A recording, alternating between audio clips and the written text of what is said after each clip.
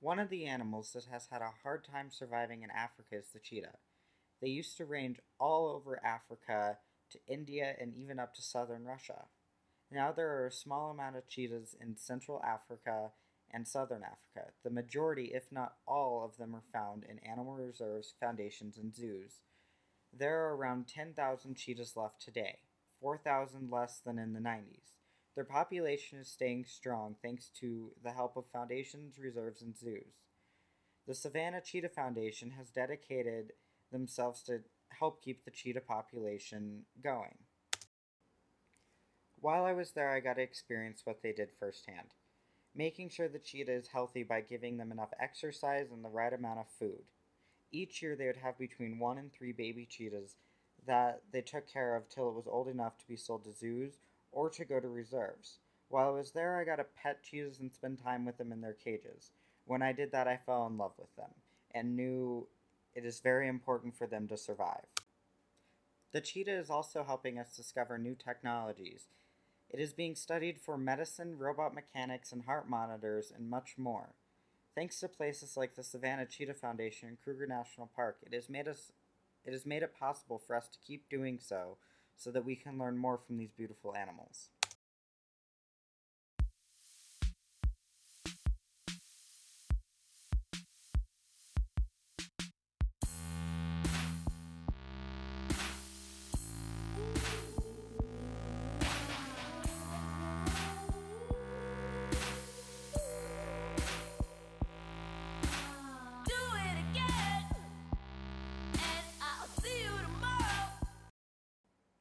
A way to help the cheetah is to help Africa.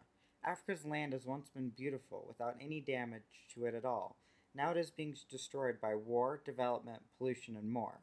Africa is a place that is home to many different ecosystems such as desert, mountain ranges, and tropical areas. These areas are home to many different plants that are being destroyed by forms of development, pollution, and war.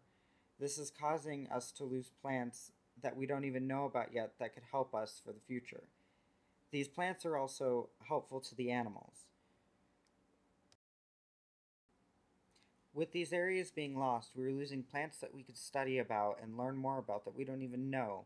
And animals are losing their habitats, so they are dying off because we are invading their homes.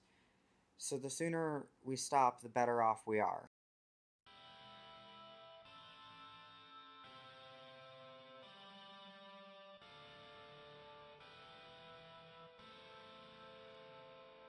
I got 99 problems and they all bitches. Wish I was Jigga man. Carefree living, but I'm not Sean or Martin Louis. I'm the Cleveland nigga rolling with the Brooklyn boy. You know I be when you start living large. I control my own life. Charles was never in charge. No sitcom can teach Scott about the drama or even explain the troubles that haunted my mom. On Christmas time, my mom Christmas grind got me most of what I wanted. How'd you do it, mom?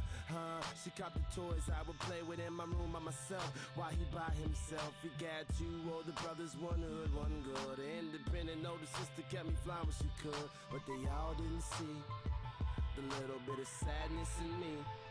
Scotty, I've got some issues that nobody can see, and all of these emotions are pouring out of me. I bring them to the life in you. It's only right. This is the soundtrack to my life. The soundtrack to my life. Luckily, there are groups out there to help keep animals and plants alive. One place that is doing so is Kruger National Park in South Africa. Kruger National Park is roughly 11,743 square miles, so around the size of Israel. It is home to many different animals and plants of Africa that could no longer be able to live without the park. All of the animals and plants live how they would live normally with the help of an enormous fence to help protect them from habitat loss and poachers.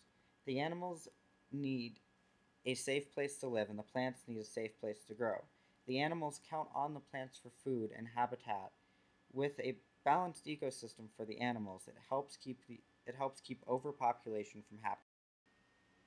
On my trip in South Africa, I was shown that these people truly care about what is happening to the environment. Kruger was a place for that. They are open to the public so that people can come stay for an experience of a lifetime. The money that is made goes to the park and the people that work there. You can even hike, camp, and stay in a luxury area in the park so that way you can have an amazing vacation and see some of the most amazing animals in the world.